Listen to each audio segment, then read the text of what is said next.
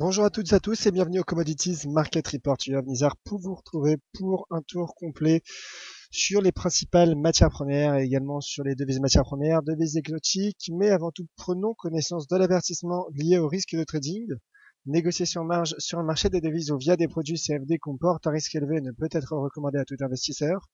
FXCM et DeliFX ne pourront en aucun cas être tenus responsables de pertes ou dommages occasionnés, incluant sans restriction des pertes ou manques à gagner qui pourraient découler directement ou indirectement de l'utilisation de ces informations. Voilà donc pour l'avertissement lié au risque de trading et bonjour à vous tous qui venez de me rejoindre et de me saluer sur le chat. Bonjour Luc, Jérôme, Tony, Dera et tous les autres. N'hésitez pas si vous avez des questions ou des graphiques à me proposer.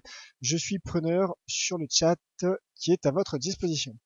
Alors débutons par le cours de l'once d'or. L'once d'or qui se maintient, qui se stabilise au-dessus de ces niveaux euh, de support horizontal, horizontaux. Pardon notamment le support à 1190 euh, sur lequel le cours a effectué un pullback la semaine passée et à présent, il s'agit d'un support euh, dynamique, euh, puisqu'il s'agit de la partie supérieure du biseau long terme formé depuis l'été 2013, qui sert donc euh, de support et le cours rebondit, mais surtout le cours de l'once d'or forme un fanion, le fanion qui est une figure de continuation et donc confirme le potentiel haussier du cours de l'once d'or qui selon moi devrait atteindre dans les prochaines séances 1240, un retour sur 1240 euh, dans les prochaines séances. D'ailleurs, l'indicateur de momentum RSI est toujours soutenu par cette droite de tendance haussière. Bon alors là il est test, il tente tout de même euh, il tente tout de même un breakout, mais ça reste ça reste haussier.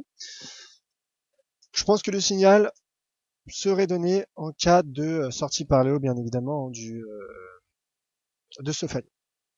Hum, j'attendrai une sortie par le haut de ce fanion, mais en tout cas, euh, le, mon biais, mon, biais est haussier pour le cours de l'once d'or. Je vise donc dans un premier temps 1240, puis 1263 dollars pour le cours, euh, le cours de l'once d'or, qui profite en ce début de séance de la consolidation du dollar américain, le dollar américain qui, malgré sa progression hier, euh, portée par les chiffres de l'inflation qui ont été publiés aux États-Unis vendredi, bah finalement ne parvient pas à casser non plus de résistance. Donc le dollar en effet rebondit, mais ne franchit pas de résistance, notamment la résistance à 12 120 euh, euh, points pour l'US dollar index. Donc pour le moment, le dollar qui reste, je dirais, potentiellement baissier, en tout cas qui n'est pas haussier, qui n'est pas haussier, et donc l'once d'or en profite en ce début de séance après avoir été affecté euh, du coup par, euh, par les chiffres d'inflation meilleurs qui est prévu aux États-Unis le mois dernier.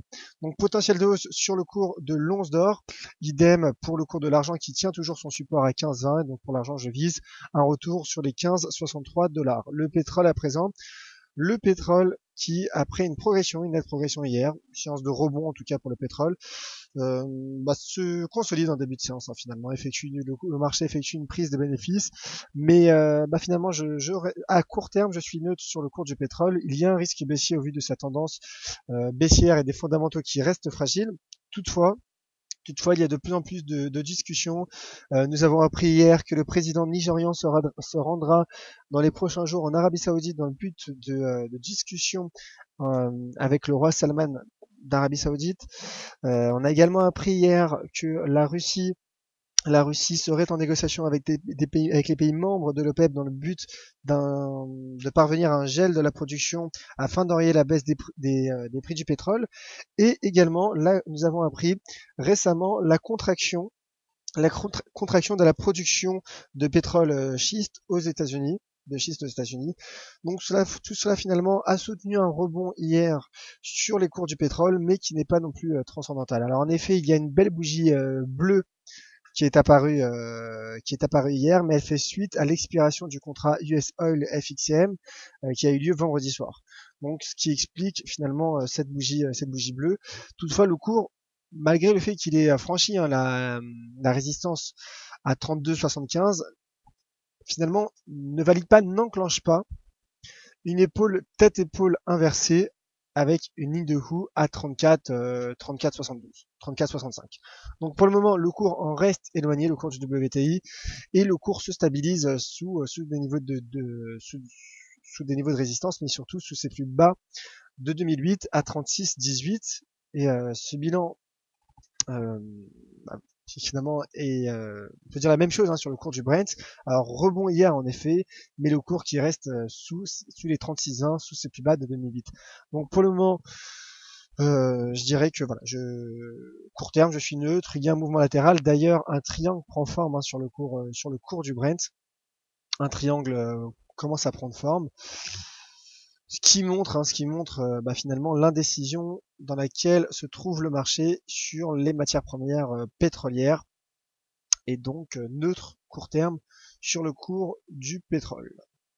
Le cuivre donc qui, qui se replie sous les 2,14 après avoir atteint un point haut à 2,12,8. Donc là, je pense que le cours est reparti pour aller chercher les 2,04, potentiellement, même les deux euh, les deux dollars. Le cours du cuivre se maintient, se situe dans un trading range, euh, replie sous les 2,14. Donc là, je repasse baissier sur le cours du cuivre malgré le fait qu'il n'ait pas atteint les 2,14. Euh, il, se replie donc à surveiller. Euh, cette stratégie serait validée en cas de franchissement par un franchissement, par une cassure des 2 dollars 10, mais en tout cas baissier pour le cours du cuivre, le cours du gaz naturel, je maintiens mon opinion baissière malgré une légère stabilisation ce début de semaine. Le cours qui a atteint notre objectif à 1,81. Je continue de croire que le cours puisse atteindre les 1,74,4 qui est tout simplement la clôture, euh, la clôture journalière de la séance du 17 décembre 2015. Donc baissier, risque baissier pour le cours du gaz naturel. Bien évidemment, si vous n'êtes pas encore entré en position il serait risqué d'entrer maintenant en position car on voit que le cours se stabilise, mais surtout, ben finalement, dans le but euh, d'optimiser votre ratio R3, votre, euh, dans le but d'optimiser votre risque, il serait euh, imprudent, je dirais, de rentrer, selon moi, hein, bien évidemment, à la vente sur le cours du gaz naturel, mais je pense que la baisse n'est pas encore terminée, mais commence à ralentir toutefois. Alors, ce que je vous propose, c'est de passer au Forex. Si vous avez des questions sur le platine et le palladium, n'hésitez pas, j'y reviendrai. Alors, le taux de change USD CAD qui se maintient sous les 1,38 d'ailleurs qui a effectué un pullback sous les 1,38 malgré un rebond ce début de séance. Donc je reste baissier sur le taux de change USD CAD pour viser dans un premier temps un retour sur cette droite de tendance cette droite de tendance donc qui a qui a été formée depuis la séance du 14 mai 2015 donc 1,36,5 CAD dollars canadiens pour le taux de change USD CAD. Et là, je pense en effet que le cours pourrait atteindre à moyen terme les 1,3450. Donc, je, je maintiens mon, objectif baissier euh, en weekly. Je le rappelle, le cours qui d'abord enchaîne, est en train d'enchaîner une sixième séance de baisse consécutive qui tente également une cassure de la Kijun Weekly qui est un niveau important.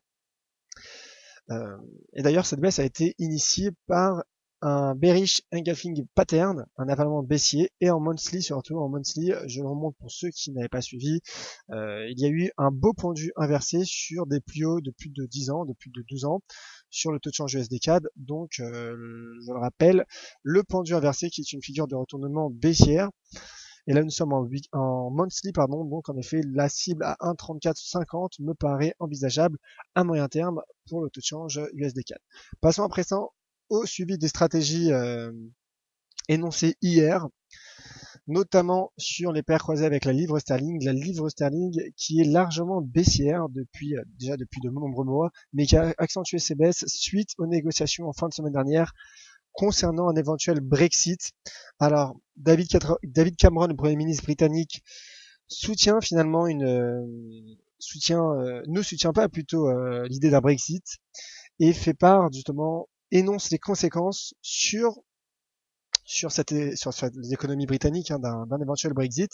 Alors toutefois, il y a eu le maire de Londres le week-end dernier, Boris Johnson, qui a affirmé euh, sa, qui a affiché sa volonté de euh, finalement de vouloir sortir de l'Union européenne.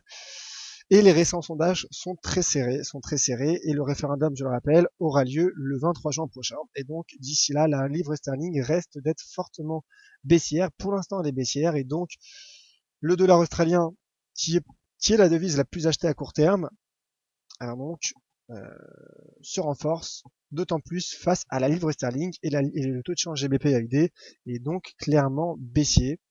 Euh, donc je maintiens mon opinion baissière sur le taux de change euh, GBP qui teste finalement un seuil euh, un seuil psychologiquement important, je dirais à 1,95 dollars australiens. Donc baissier pour le taux de change GBP euh, GBP AUD également pour le GBP NZD du coup. Le GBP NZD hein, qui a qui a fortement chuté hier et qui est sous pression et qui teste lui un seuil à 2,10 dollars de 11, donc il teste ce seuil. Ce seuil, je, suis baissier sur le GBP NZD à nouveau. Je vous remets mon graphique en weekly hein, pour, euh, montrer justement cette cassure. Cette cassure, s'est sortie par le bas euh, de ce nuage et également par la Shiku qui a cassé euh, la Kijun en weekly, qui sont des niveaux importants, je le répète.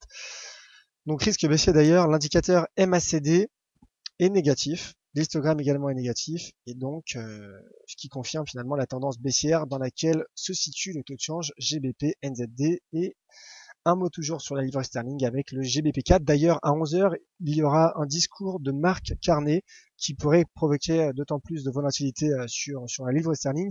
GBP4 également baissier.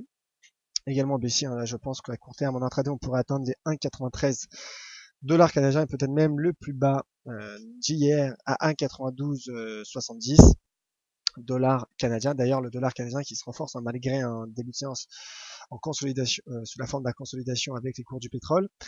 Et également, je voulais vous parler d'un taux de change, hein, même si euh, Vincent et Sylvain m'ont parlé ce matin, le GBP Yen qui est euh, qui est baissier. Je suis baissier, je pense que qu'on pourra casser, que le cours pourrait casser les 158 yens en intraday.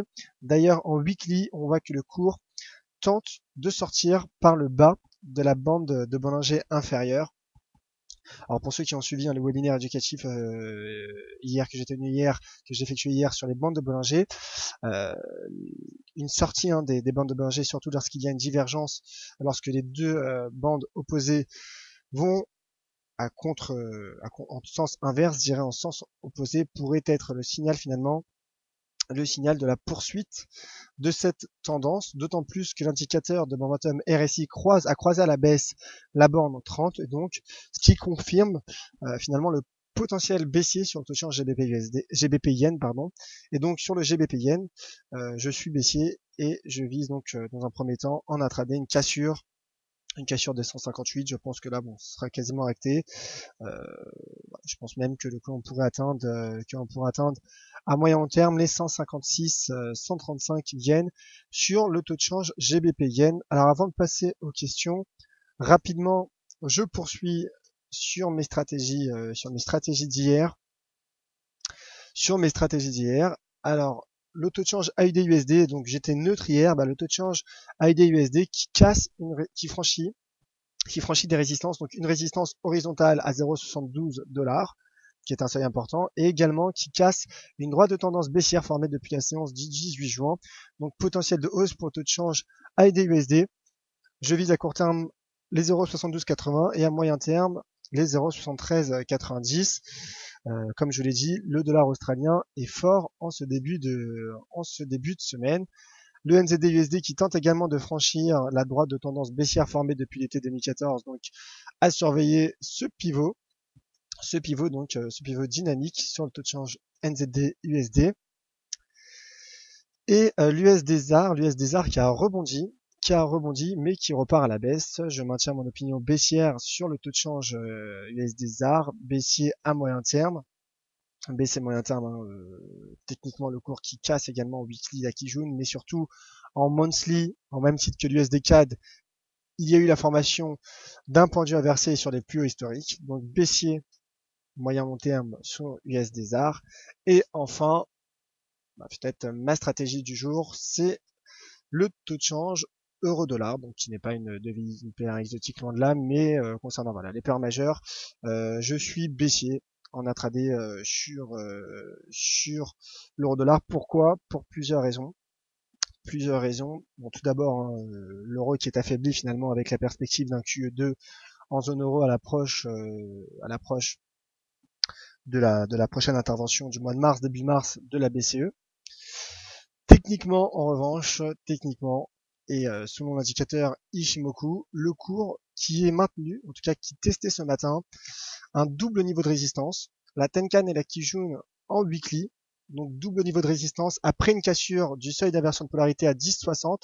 Cela m'a alerté, cela m'a alerté. Pour l'instant, bah écoutez, euh, je suis baissier, je pense qu'on pourra atteindre dans un premier temps, bon, les 0,109 70, euh, puis les 1,09 43 finalement euh, ce niveau de résistance.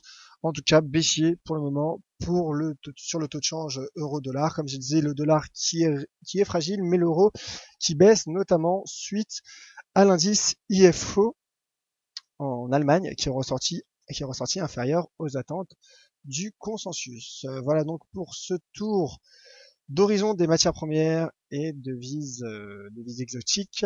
Passons donc à présent aux questions qui me sont posées sur le chat. N'hésitez pas, si vous avez des questions, c'est le moment. Et première question de la part de Derard sur le câble. Derard donc qui demande mon avis sur le câble, et je m'appelle bien Yoav et non Johan, mon cher, euh, mon cher Derard. Alors, le, le câble, donc, le câble qui, je le rappelle, est le taux de change GBP USD. Le GBP USD, bon, le risque est bien évidemment baissier, toutefois le cours qui hier a cassé d'une part ce support majeur à 1,4230, mais d'autre part le cours qui teste ce seuil à 1,4095, donc proche du seuil à 1,41. Je suis baissier, mais nous nous trouvons sur un niveau de support. Donc pour le moment, je n'agirai pas sur le taux de change GBP-USD, mais euh, je, maintiens mon opinion baissière à moyen terme. Je, pense qu'à moyen terme, en effet, on pourrait atteindre les 1,40 euh, dollars sur le taux de change GBP-USD. Donc finalement, peut-être profiter de rebonds, de rebonds et euh, shorter les résistances pourrait être une stratégie à adopter sur le cours du câble.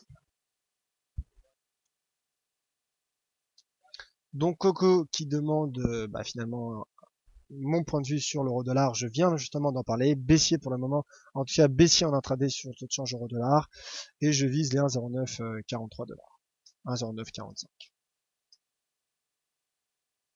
Tony, pour une stratégie sur euh, le Nikkei 225, le GP, GP, JPN 225.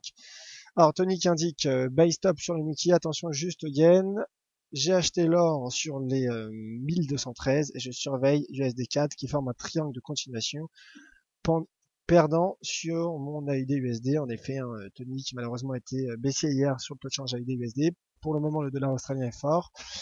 Et donc, concernant le graphique sur le Nikkei 225, donc Tony, Tony qui est plutôt, euh, bah, qui est plutôt haussier, haussier visiblement. Euh, si je ne m'abuse en tout cas, qui a effectué un buy stop.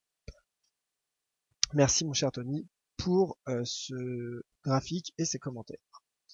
Alors en effet, hein, comme je disais, euh, Marc Carnet, pour répondre à la question de visiteurs, Marc Carnet interviendra dans une dizaine de minutes, et d'ailleurs dans ce contexte de Brexit, son discours sera d'autant plus important.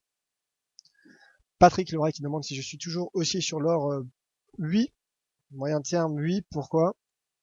Car, euh, car l'once d'or se maintient dans un fanion. L'once d'or se maintient dans un fanion, qui est une figure de continuation, et surtout le dollar qui, comme je le disais, ne franchit pas de résistance. Et les bourses qui sont sous pression en début de séance, donc tout cela pourrait profiter au cours de l'once d'or, qui est aussi en ce début de séance. Mais voilà, il y a ce fanion, il faudra valider une sortie par le haut de ce fanion pour euh, finalement valider et enclencher une euh, stratégie potentiellement haussière sur le métal.